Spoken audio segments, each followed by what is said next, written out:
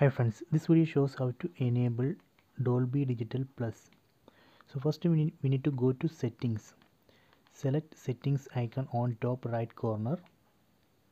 Then select device preferences. Then select sound. Then select digital audio format. You can see right now so the active format is PCM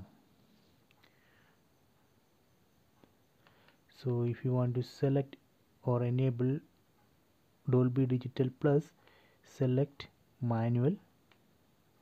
So here we can see Dolby Digital Plus. Enable it. So right now I enabled Dolby Digital Plus. Similarly we can enable Dolby Digital DTS AAC so this way we can enable or disable Dolby Digital Plus. So please subscribe my channel. Please like and share the video